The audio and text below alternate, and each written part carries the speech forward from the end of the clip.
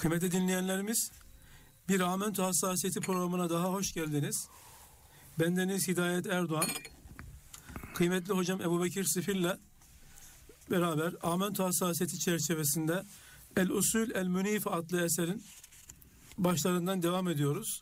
Bu eser malum haliniz her zaman tekrar ediyoruz. İmam-ı Azam Efendimizin görüşlerini toplayan derli toplu bir eser. Bazı dinleyenlerimiz bizi kitaptan da takip ediyor. Bugün 40. sayfaya geldik.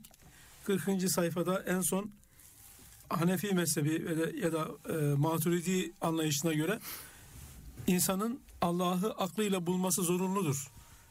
Evet. Ve e, her ne kadar şeriattan sorumlu değilse de aklıyla bulması insanın zorunludur. Eşarilerin aksine eşariler böyle bir zorunluluğun olmadığını söyler. Burada, burada kalmıştık hocam. Evet. Hocam hoş geldiniz, sefa geldiniz. Hoş bulduk, teşekkür ediyorum. Allah razı olsun. Buyurun hocam. Evet. Bismillahirrahmanirrahim. Elhamdülillah ve salatu ve selamu ala seyyidina Resulillah. En son nerede kalmıştık?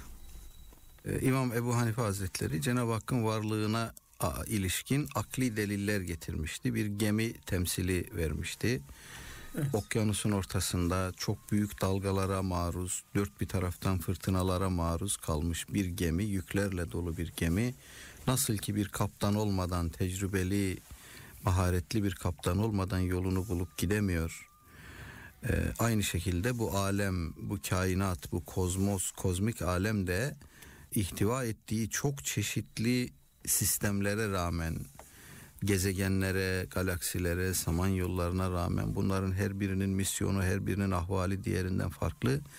Bütün bunların belli bir sistem içerisinde ayakta durması ve deveran edip gitmesi mutlak surette onlara ait en küçük şeyleri, cüz'iyatı bile bilen, onları muhafaza eden, onları yoktan var eden bir sani hakimin, hikmet sahibi bir var edicinin varlığına muhtaçtır, bağlıdır diye bir delil getirmişti İmam Ebu Hanife Hazretleri. Evet. Sonra devam ediyor. Ve keza hurucul cenini min batni ummihi bi suretin hasenetin. Aynı şekilde gene akli delillere istillale devam ediyor. Diyor ki aynı şekilde bir ceninin anne karnındaki bir ceninin doğum e, esnasında Hurucul cenini min batni ummihi bir suretin hasene güzel bir surette çıkması, dünyaya gelmesi. Leyse min necmin ve la tab'in. Bu ne bir yıldızın ne de tabiatın yapabileceği bir şeydir. Bunu bir yıldıza, yıldızların tasarrufuna bağlamak da doğru değil. Tabiata bağlamak da doğru değil. Bel tam aksine bu min takdiri sani'in hakim bir sani hakimin hikmet sahibi bir var edicinin takdiriyle, tasarrufuyla, tedbiriyle oluyor. Burada yıldıza bağlamaktan söz ediyor e, İmam Ebu Hanife Hazretleri. Bu yıldız nedir? Cahiliye döneminde bir takım işleri burçlara, gök cisimlerine ve yıldızlara bağlama alışkanlığı vardı. Yani bir takım hayırlı işler olduğunda bu falan yıldızın nev'indendir diyorlardı. Bir takım olumsuz buldukları işler olduğunda bu hangi nevdir diyorlardı. Bu nedir? Bu yıldızların doğması, batması, burçların e, vaziyetleri, ayın bir menzilden diğerine intikal etmesi, bütün bunlar cahiliye Arapları için dünyadaki hayata doğrudan doğruya tesir eden şeylerdi falan yıldız doğdu mu bakın o yıldız doğur doğduysa şöyle bir hadise olabilir. Falan yıldız doğmadıysa şöyle bir hadise olabilir gibi doğrudan doğruya yıldızların doğumuyla veya burçlarla veya ayın menzilleriyle yeryüzündeki hadiseler arasında bir sebep müsebbep ilişkisi kuruyorlardı. İşte buna atıf yaparak İmam Ebu Hanife Hazretleri diyor ki bu yıldızların böyle bir tesiri yoktur. İnsanın anne karnından böyle bir mükemmel biçimde, kıvamda dünyaya gelmesi ne yıldız işidir ne tabiat işidir. Bu tamamen sani hakim olan Cenab-ı Hakk'ın işidir. Bu tabi tabiat da önemli. Günümüzde özellikle bu naturalizm e, maalesef Cenab-ı Hakk'ı inkar e, inancı üzerine kurulu ateizmin bir e, şeyidir, e, tabii bir neticesidir. Bu aynı zamanda ateistlere de tabi İmam Ebu Hanife Hazretleri'nin bu istidlalleri ateistlere de cevaptır. Böyle mükemmel bir iş, mükemmel bir oluş, mükemmel bir kıyam ve sistem ancak e, ilim sahibi, kudret sahibi, hikmet sahibi bir varlığın tasarrufuyla olur diyor. Vel alem yetegayyeru min halin ila hal. Bakın şu aleme gerçekten de gerek mikrokozmos gerek makrokozmos sürekli olarak bir halden bir hale geçiyor, değişiyor. Tegayyüre maruzdur.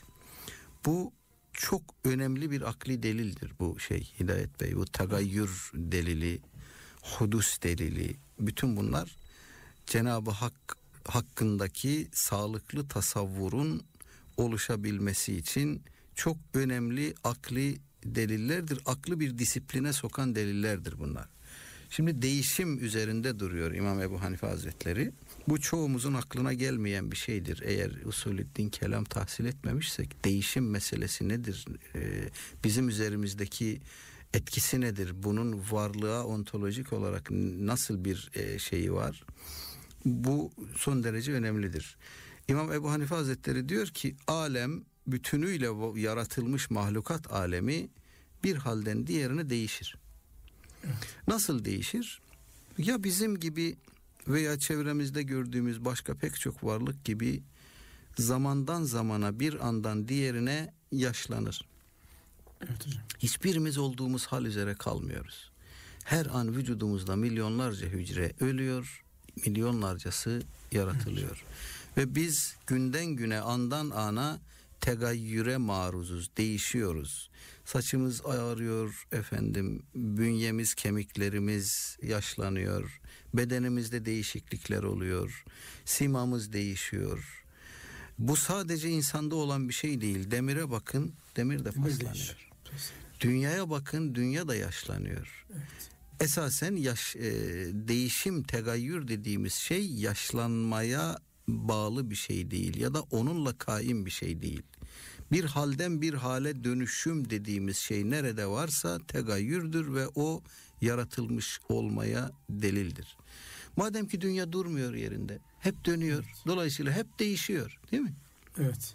Gerek kendi etrafındaki dönüşleri, gerek güneş etrafındaki dönüşleri bir tegayyürün ifadesi. Hiç durmuyor dünya ve sürekli değişiyor. Çok hızlı bir şekilde de- devam ediyor. Evet. Değişiyor. Bir halden bir hale dönüyor. Bir halden bir hale. Her an, her lahza, her saniye dünya hareket halinde olduğu için değişim halindedir. Ve bu dünyaya mahsus bir şey değil. Bakın evrene, kainata, uzay boşluğuna her şey dönüyor. Her şey hareket halinde. Evet. Dolayısıyla hareket dediğiniz şey tegayyürdür. Bir halden bir hale intikaldir. evet. Tegayyür delili diye. Evet, evet. İmam Ebu Hanife Hazretleri bu delili dikkatimize sunarak diyor ki ve tagayyür la budde lehu min mugayyir.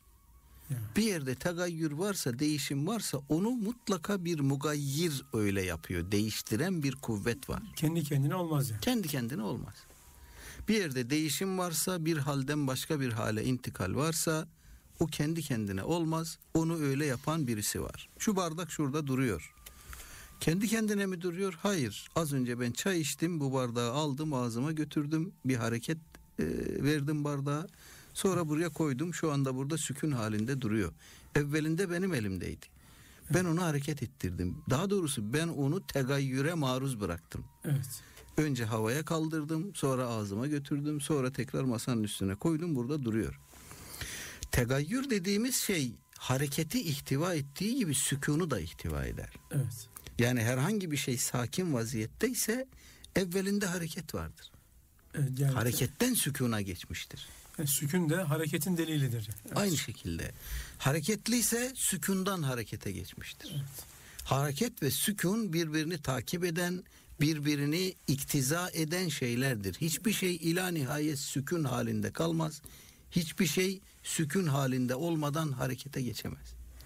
Hareket varsa evvelinde sükun vardır, sükun varsa hareket vardır. Ve bu da değişimdir. Evet. Sükun halinden hareket haline geçmişse bir şey değişmiş demektir. Değişime maruz kalmış, değişimi yaşamış demektir. Ve bu da onu bir değiştirenin varlığına delalet eder onu gerektirir. Evet. İşte İmam Ebu Hanife Hazretleri bunu dikkatimize sunuyor ve diyor ki bir yerde değişim varsa orada bir değiştirici vardır. Bir değiştiren vardır. Kendi kendine olmaz bu. Evet. Fedelle tagayyuruhu ala vücudin vücudi mugayyirin lehu lehu galib. İşte bu varlıkların maruz kaldığı bu değişim onu değiştiren, onun işlerine galip, onu onun üzerinde tasarrufta bulunan, ona hükmünü geçiren bir mugayyirin, bir değiştiricinin varlığını gösterir. Değişimden hareketle değiştirene, e, sanattan hareketle sanatkara ulaşma istidlal tarzı. Huve sani' yapan da odur. Onu değişime maruz bırakan kudret, o kudretin sahibi aynı zamanda onu yapandır, Yapandır. yoktan varlığa çıkarandır. Onu o kıvama getirendir. Nitekim gene bir kıyasla İmam Ebu Hanife Hazretleri bunu dikkatimize sunuyor. Diyor ki ke vücudi binain müşeyyedin fi ardatin ba'de en lem yekun. Bu bir e, boş bir e, arsatin, ardatin dedim düzeltiyorum. Arsa, evet. Arsat, evet. Boş bir arsada e, muhkem bir binanın varlığı gibidir. Arsa boştu, sonra biz orada bir bina olduğunu gördük. Bu bina ba'de en lem yekun daha önce orada yoktu. Evet. Fakat daha sonra baktık ki o arsada bir bina var. Bu neyi gösteriyor? Bizim boş bir arsada bir süre sonra muhkem güzel bir bina görmüş olmamız bize neyi gösteriyor? Yedullu ala vücudi banin benahu.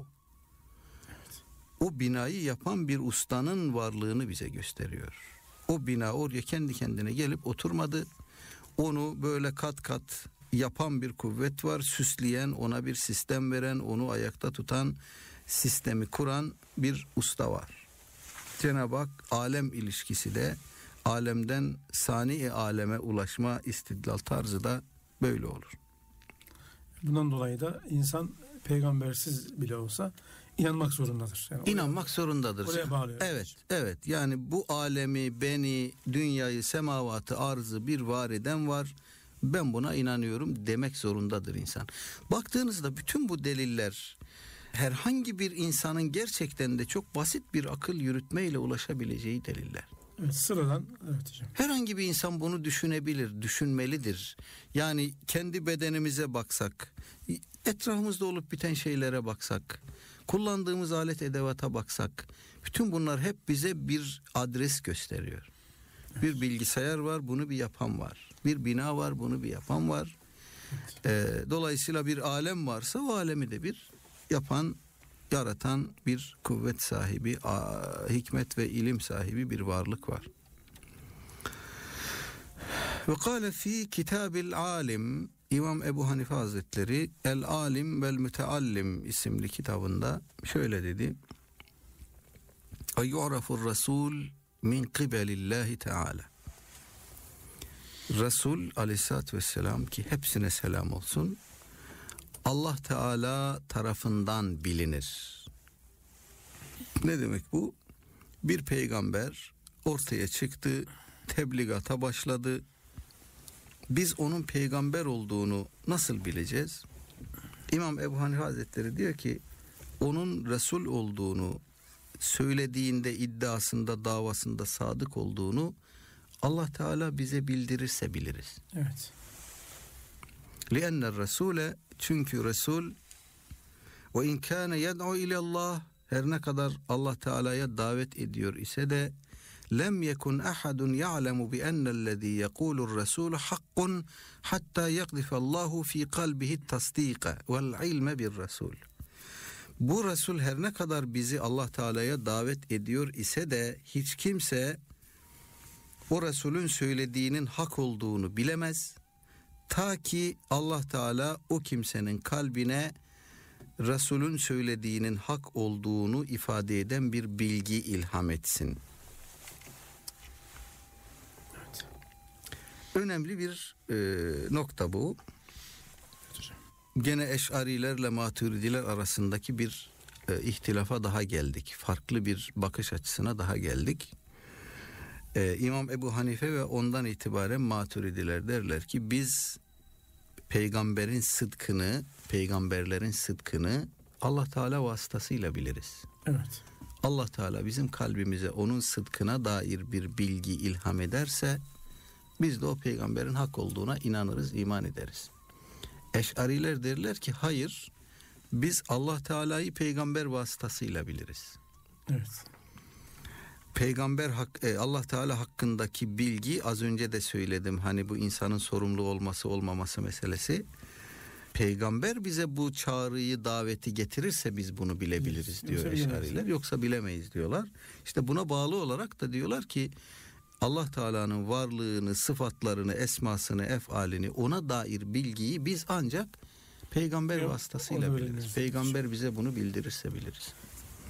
Fakat esasında baktığımızda bu iki bakış açısı arasında esasa ilişkin, manaya e, ilişkin bir e, ihtilaf olduğunu söylememiz de gerekmiyor. Bir Neden? usul şey var, farklılığı Evet, var. Evet. evet. hocam. Aslında bir hakikatin iki ayrı veçhesinin ifadesi olduğunu söyleyebiliriz bunun. Şöyle Yani ki Allah dolayısıyla peygamberi mi biliyoruz yoksa peygamber vasıtasıyla Allah'ı mı biliyoruz? Evet. İki farklı yaklaşım. Evet. Buyurun hocam nasıl? Bunları birbiriyle çatıştırmamız gerekmiyor. Şöyle bir ara formül diyelim yahut şöyle bir mantıki bağla bu ikisini birbirine bağlayabiliriz. Bir insan hiç Allah Teala'ya iman etmiyor. Evet hocam. kendisine bir peygamber tebliği ulaştığı, bir peygamber çağrısı kendisine ulaştığı, o kimse Allah Teala'nın kalbine ilham etmesiyle o peygamberin hak olduğunu inanabilir. Evet. Onun üzerinden Allah Teala'ya gidebilir. Normal evet. Bu mümkündür. Hiç inanmasa bile. Bu Allah Teala'nın fazlı keremidir. Lütuftur. Lütuftur. O kimsenin kalbine peygamberin hak olduğu bilgisini ilham eder. O kimse peygambere inanır oradan Allah Teala'ya gider Gider. ki ebedi hakikat. Aynı şekilde herhangi bir kimse Allah Teala'ya samimiyetle inansa, bağlansa, hiç peygamber tebliğinden haberdar olmasa Allah az önceden beri gördüğümüz o silsile içerisinde İmam Ebu Hanife Hazretleri'nin o akli istidlalleriyle bir kimse Allah Teala'nın varlığına ulaşsa, kudretine inansa, onun ilmine, hikmetine inansa, bir peygamber daveti, tebliği kendisine geldiğinde e der ki zaten bu peygamber de benim inandığım Allah'ı anlatıyor bana. Evet. Dolayısıyla oradan Allah Teala'nın daha evvel bu kimsenin kalbinde Allah Teala'ya dair olan o şey onu peygamberi tasdike de götürecek. Perçinlenmiş oluyor. Perçinlemiş olacak. Dolayısıyla bu iki bakış açısı arasında giderilemez bir ihtilaf olduğunu söylemek zorunda değiliz. Bunlar meselenin iki ayrı veçesini dikkatimize sunan ya da meseleye iki ayrı açıdan bakmanın getirdiği bir e, açı ihtilafıdır. Bakış açısı ihtilafıdır. Yoksa manada hakikatte esasda bir ihtilaf Özde bir ihtilaf yok. Evet. Vallahu alem. Evet İmam Ebu Hanife Hazretleri az önce söylediği şeyi Kur'an ayetiyle de delillendiriyor. Ve lidalike Allahu Teala bu sebeple Allah Teala şöyle demiştir. Yani e, ne dedi İmam Ebu Hanife Hazretleri? Bir kimse e, peygamberin hak olduğunu ancak Allah Teala'nın kendisine ilhamıyla bilebilir demişti. Evet hocam. Şimdi bunu delillendiriyor. Ve lizalike Allahu Teala bu sebeple Allah Teala şöyle buyurmuştur. İnneke la tehdi men ahbabte. Efendimiz Aleyhisselatü Vesselam'a hitaben hiç şüphesiz sen dilediğin kimselere hidayet veremezsin. Velakinne Allahe yehdi men yeşâ ancak Allah Teala dilediğine hidayet verir. Ve huve a'lemu bil muhtedin. O hidayete gelenleri en iyi bilendir. Ya da gelecek olanları en iyi bilendir. Velev kânet ma'rifetullahi min qibelir rasuli eğer Allah Teala'yı bilmek peygamber üzerinden olsaydı lekanel minnetu alen nasi fi ma'rifetillahi min qibelir rasul la min qibelillah Allah Teala'yı tanıma konusunda insanlar Allah Teala'ya değil Resul'e borçlu olurlardı. Evet. Yani biz Allah Teala'yı peygamber vasıtasıyla tanıdık. Dolayısıyla biz ona minnet borçluyuz. Allah'a minnetimiz Allah'a minnetimiz yok, peygambere minnetimiz var gibi bir şey ortaya çıkardı diyor. Velakinnel minnete anillahi aler rasuli fi marifetir Rabbi Teala. Ancak böyle değildir diyor İmam Ebu Hanife Hazretleri. Minnet Allah Teala'dan Resulü Ekrem Aleyhisselatü Vesselam Efendimiz'e dir ki onu bize tanıtan kendisinin eee, kendisi hakkındaki bilgiyi bize Resulü vasıtasıyla iletti.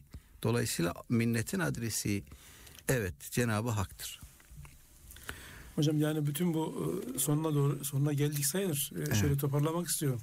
Kıymetli dinleyenlerimiz e, Ebu Bekir Sifil hocamla e, devam ediyoruz.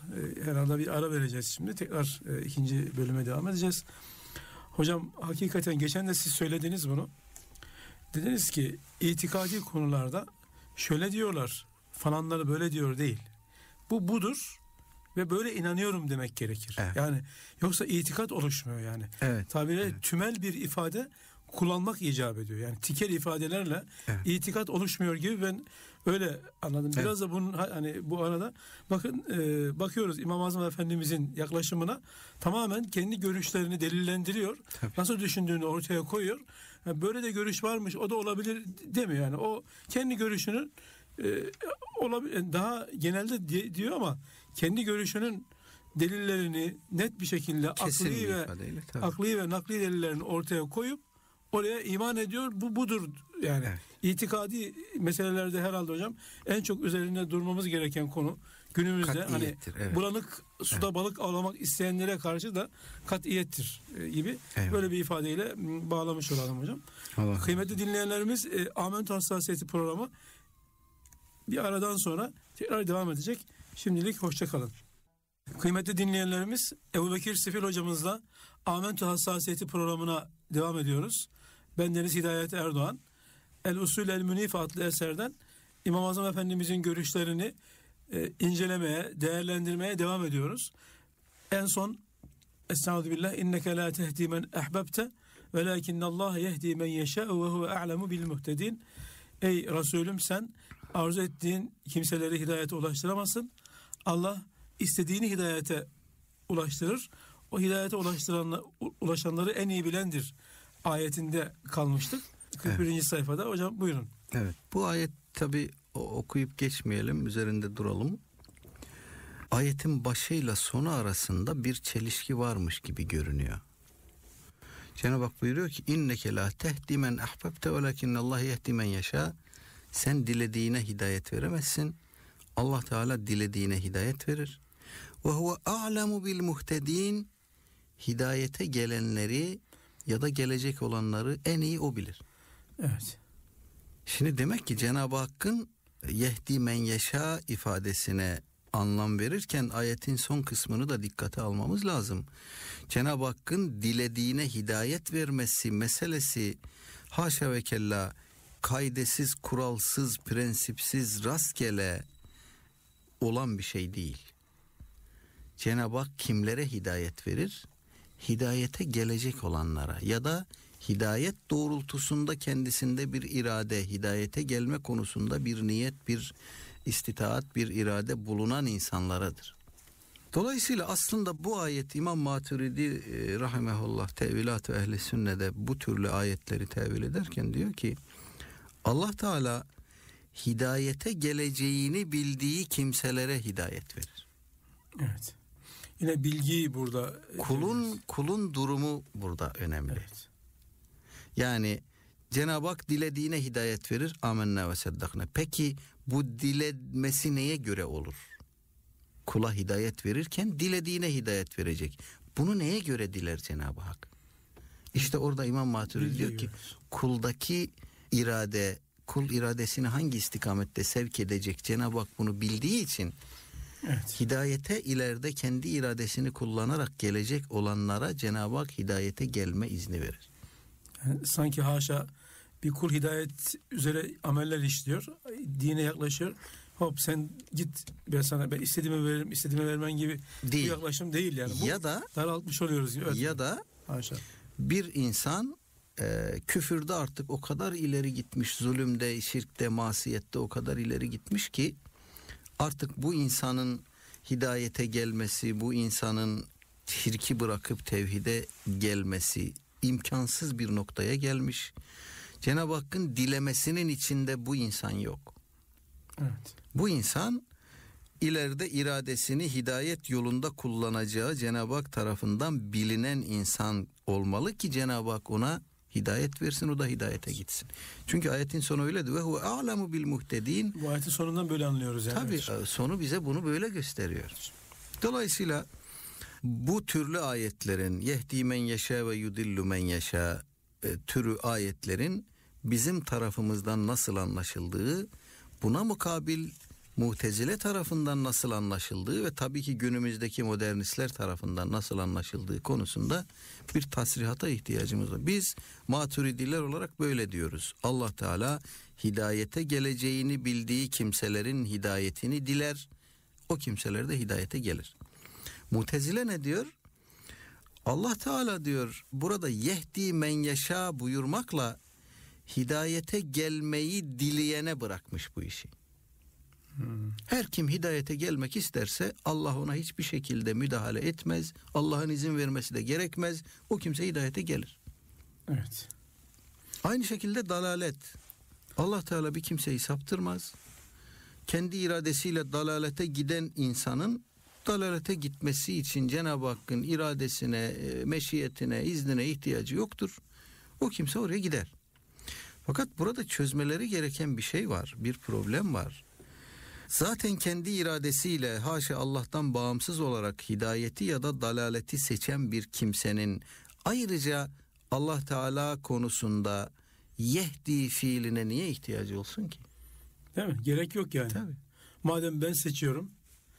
O zaman yehdi men yaşa dileyene hidayet verir demenin anlamı ne? Madem irade insanda ve insan Allah'tan bağımsız, Allah dileyene hidayet verir, hidayeti dileyene hidayet verir, dalaleti dileyene dalalet verir demenin anlamı ne? o- Dileyen hidayete gider, dileyen dalalete gider diyebilir ama hiç böyle değil. Hep yehdi men yaşa ve yudillu men yaşa var. Ya. O hassas ayrımı yapmak lazım. Hocam bu mutezile olmasaydı modernizm ne yapacaktı yani? Hakikaten. Evet, evet. Yani e, gerçekten e, bizim en yumuşak karnımızdan e, oralardan imansızlığa doğru yani ilah e, Tabii. ilah insan anlayışı da bahsetmiştik hocam hakikaten. Evet, evet, evet. Yani insan kul ontolojik olarak biz kuluz yani. İlah insan oradan e, gerçekten. Bir de tabii Mutezile'nin bu Allah'tan bağımsız insan algısı e, pek çok ayeti kerimenin de izin vermediği bir anlayış esasen. Yani insan hiçbir fiilinde Allah'tan bağımsız değil. Bakın mesela Maturidilerin bu türlü ayetlere mana verdiği manayı gözden uzak tutarsak Evet hocam. e, meseleye tamamen mutezili çizgide bakarsak içinden çıkamayacağımız ayetler var. Bakın mesela bir iki tanesini örnek olarak size söyleyeyim. Kul ya eyyühen nasu kad ca'akumul hakku min rabbikum de ki ey insanlar size Rabbinizden bir hakikat geldi. Bir hakikat, hak geldi size Rabbinizden. Femen ihteda ve innema yehtedi li nefsih. Kim hidayete gelirse kendi nefsi için hidayete gelir. Kendi lehine olarak hidayete gelir. Ve men dalle fe innema yedillu aleyha. Kim de saparsa kendi aleyhine olarak sapar. Bu türlü ayetleri daha buna benzer pek çok ayet var. Mutezile bu türlü ayetleri merkeze koyarak diyor ki Allah Teala burada hidayeti de dalaleti de tamamen insana atfetmiş, insana bırakmış. Kim o isterse oraya gitsin, kim isterse buraya gelsin demek suretiyle kendisi buna hiç müdahil olmayacağını Beyan etmiş. bize beyan etmiş. Fakat öyle ayetler var ki mesela şunun gibi yemunnuna aleyke en eslemu onlar Müslüman olmalarını, İslam'a girmelerini sana baş kakıncı yaparlar. Senin başına kakarlar. Kakıncı Minnet yaparlar. konusu yaparlar. Kul de ki la temunnu aleyyel islamekum. Müslüman olmanızı benim başıma kakmayın. Velillahu yemunnu aleykum. Esas Allah size bunu mennetti, ikram etti. O sizin başınıza kakar. Kakarsa Evet. eğer. En hedakum lil iman sizi hidayete, imana o hidayet etti. O getirdi. Hucurat suresinin 17. ayeti bu. Keza Araf 155 Hz. Musa aleyhisselam e, Tur-i Sina'ya İsrailoğullarından 70 kişiyi de alarak gidiyor. Evet hocam. Ayet-i kerimenin başı bunu anlatıyor. İhtara Musa kavmehu seb'ine raculen li miqatina 70 kişiyle 70 kişiyi aldı ve sözleştiğimiz vakte yere geldi. Felemma ahadat humur racfetu onları o titreme o sarsıntı alınca Kale Rabbi lev şi'te ehlektehum min qablu Musa aleyhisselam dedi ki ya Rabbi sen dilesen bunları daha evvel helak ederdin. Ve iyyâye ve beni de helak ederdin. Etuhlikuna bima feale sufahâ'u minna aramızdaki beyinsizler yüzünden bizi helak eder misin? İn hiye illa fitnetuk bu ancak senin bir imtihanındır. Tudillu biha men teşâ'u ve tehdi men teşâ. Bununla dilediğine hidayet, dalalet verirsin, dilediğine hidayet verirsin. Şimdi burada hidayet ve dalalet tamamen Cenab-ı Hakk'a atfedilmiş Hazreti Musa tarafından. Dolayısıyla yudillu men yeşa yehdi men yeşa tarzı ayetlere dileyen hidayete gider, dileyen dalalete gider diye mutlak bir anlam vermek doğru değil. Evet. Mutlaka işin sonu Cenab-ı Hakk'a bağlanacak. Aynı şekilde Kehf suresinin 57. ayeti ve men azlamu mimmen zükkire bi ayati rabbihi fe arada anha her kim kendisine Rabbinin ayetleri hatırlatıldığı halde onlardan yüz çevirir. Ve nesiye ma kaddemet yedahu ve eliyle yaptıklarını unutur. İnne cealna ala kulubihim ekinneten biz onların kalpleri üzerine perdeler gerdik. En yefhemuhu bu vahyi bu kitabı anlamamaları için o perdeyi gerdik. Ve fi adanihim vakran kulaklarına ağırlıklar koyduk. Ve in ted'uhum ilel huda felen yehtedu iden ebeden. Sen onları hidayete çağırsan da artık ebediyen hidayet bulmayacaklar. Şimdi bakın Cenab-ı Hak bir takım insanların kalplerine perdeler koymuş, kulaklarına ağırlıklar koymuş, kulaklarını kapatmış, gözlerini, kalplerini kapatmış ve Efendimiz'e hitaben buyuruyor ki sen onları hidayete çağırsan bile artık gelemezler. Kapattım ya. Kapattım. Ya. Dalalet Cenab-ı Hak'tan bakın işte saptırdı. Ama burada Cebriye'nin düştüğü hataya düşüp de şöyle demiyoruz biz. Allah saptırdı bunların hiçbir günahı yok. Kendileri hiçbir şey yapmadılar. Tamamen Cenab-ı Hakk'ın tasarrufuyla bunlar böyle oldu. Daha evvel yaptıkları bir olumsuz bir durum yok. Olumsuz bir attıkları bir adım yok. Bu tamamen Cenab-ı Hakk'ın yaptığı bir şey. Biz diyoruz ki Cenab-ı Hak kimi saptırır? Sapmaya doğru gidenleri, iradesini o yolda kullananları saptırır. Onların sapmasına izin verir, onu takdir eder, onu diler. Onlar adım attıkları için oraya doğru adım attıkları için. Evet. Evet. Buna benzer daha pek çok ayeti kerime var. Meselenin anlaşılmış olduğunu umarız. Ve lidalike la yenbagi li ahadin en yekul. Herhangi bir kimsenin şöyle demesi uygun değildir. İnna Allah Teala yu'rafu min kibelir Resul. Allah Teala Resul vasıtasıyla bilinir. Resul tarafından bilinir. Onun tebligatıyla bilinir. Demesi uygun değildir diyor İmam Ebu Hanife Hazretleri. Bel uygun olan yenbagi en yekul şöyle demesidir uygun olan innel abde la ya'rifu şey'en minel hayri illa min kibelillahi teala. Kul herhangi bir hayrı bilemez, herhangi bir hayra vasıl olamaz. Ancak Allah Teala bildirirse olur. Cenab-ı Hak demek ki bizim iman etmemiz, bizim Resulü tasdik etmemiz, Cenab-ı Hak hakkındaki bilgimiz ancak Allah Teala'nın bildirmesiyledir. Onun bunu mümkün kılması ve buna yol açmasıyladır. Ama bakın böyle dediğimizde bunu böyle mutlak aldığımızda bu bahsin başıyla sonu arasında bir çelişki varmış gibi görünüyor. Evet hocam. Bahsin başında ne demişti İmam Ebu Hanife Hazretleri? Bir insanın kendisine bahşedilen akli kapasiteyle Allah'ın varlığını bilmesi bulması gerekir demişti değil mi? Evet. Ama burada ne diyor? Ee, Bel yenbeği en yekul innel abde la ya'rifu şey'en minel hayri illa min kibelillah.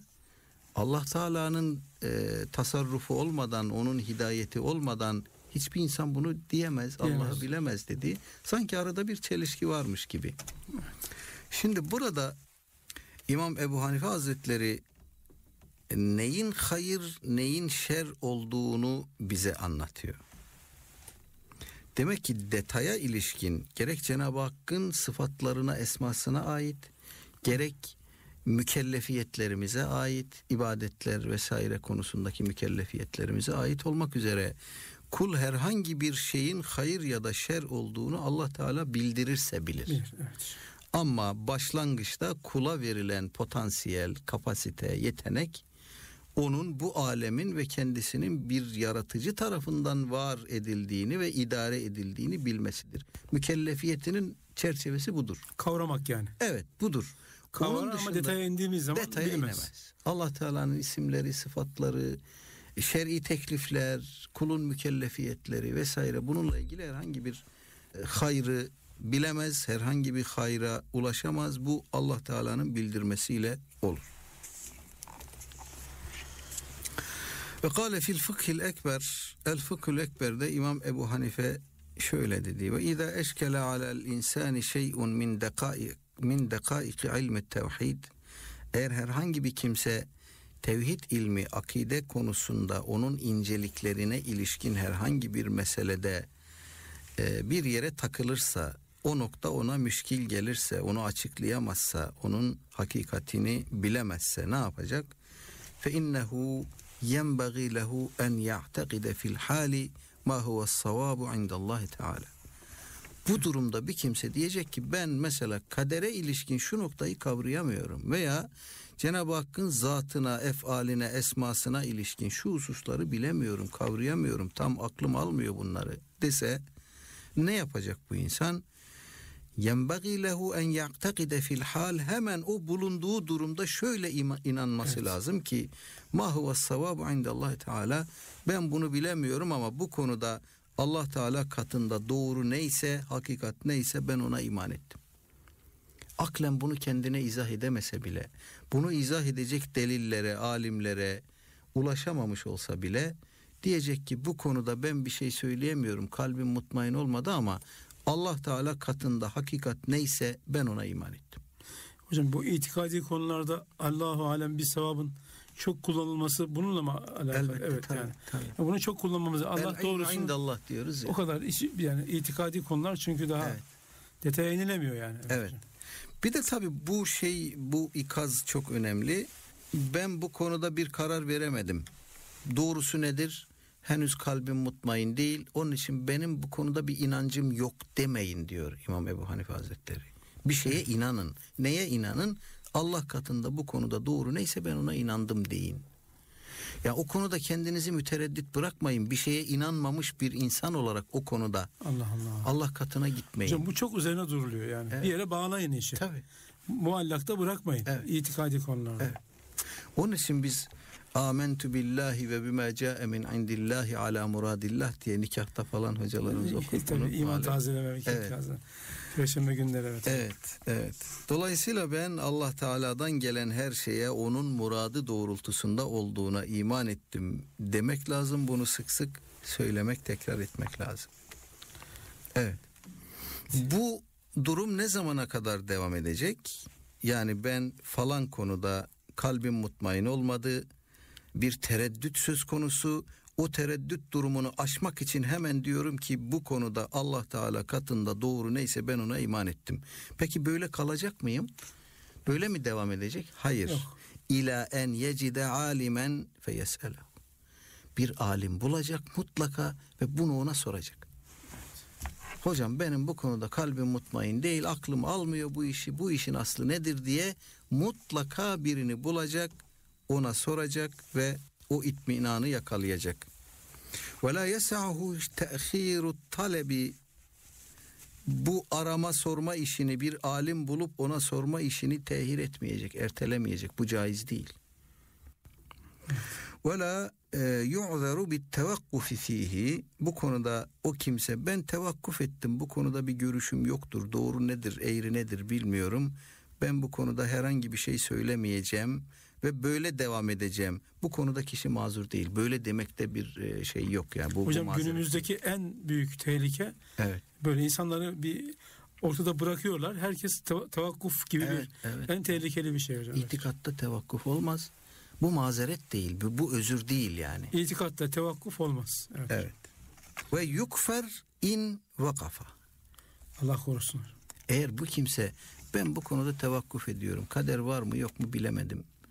E, aklım da almıyor bu işleri falan diye tevakkuf etse İmam Ebu Hanife diyor ki kafir olur. Allah korusun. Allah korusun. En çok tehlikeli bir nokta yani. Tabii.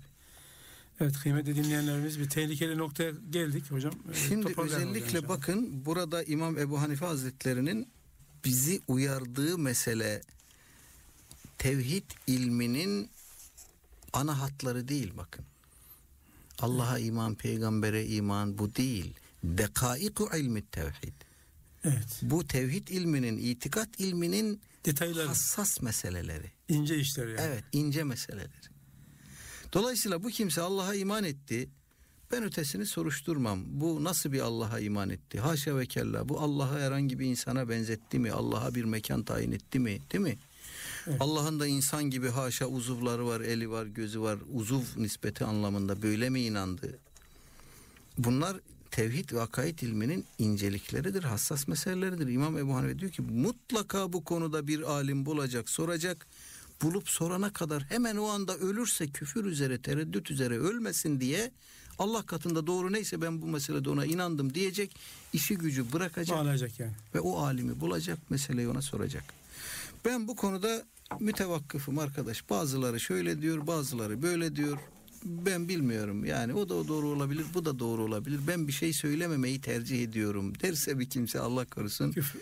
Bu küfür. Allah korusun. İmanda tereddüt, Küfürdür. itikatta tevakkuf olmaz. Kesinlikle inanıyorum şöyledir yahut kesinlikle inanıyorum şöyle değildir. Diyecek ya. Kat'i olması lazım yani. Evet. Teşekkür ederiz hocam. Kıymetli Ben dinleyenlerimiz. Allah razı olsun. Ee, bir dahaki Amentüs Hassasiyeti programında buluşmak dileğiyle kıymetli hocam Ebu Bekir Sifil'in güzel açıklamalarını, imani açıklamalarını tekrar beklemek dileğiyle hoşça kalın. Allah'a emanet olun.